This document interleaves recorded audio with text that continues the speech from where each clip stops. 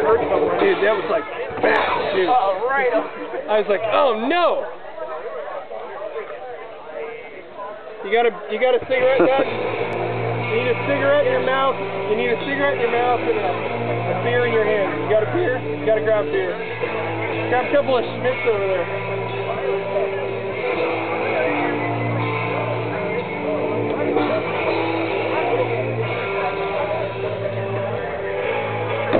Oh! All right, we need to mark a distance on that. Where was the front of the can? Front of the can.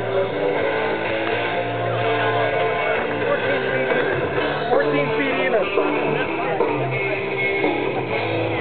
Front of the can. Yeah. All right, Doug, you're in the lead.